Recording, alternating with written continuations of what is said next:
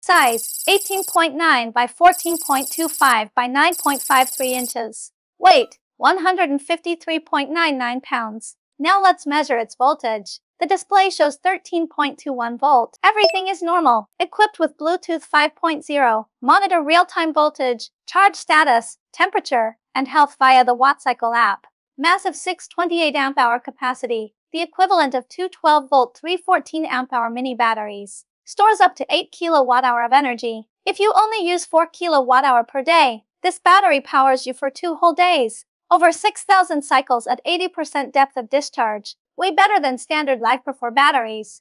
300 amps continuous discharge for heavy loads and power-hungry inverters. Built-in 300 amp smart BMS with 8 layers of protection, overcurrent, short circuit, thermal, and more. Highly scalable, supports up to 4 series 4 parallel, with max usable energy reaching 128.61 kilowatt hour. Perfect for RVs, off-grid homes, solar setups, and backup systems. Now let's get to the hardcore stuff, load testing. Connect the inverter, then attach the blow dryer, perfect match.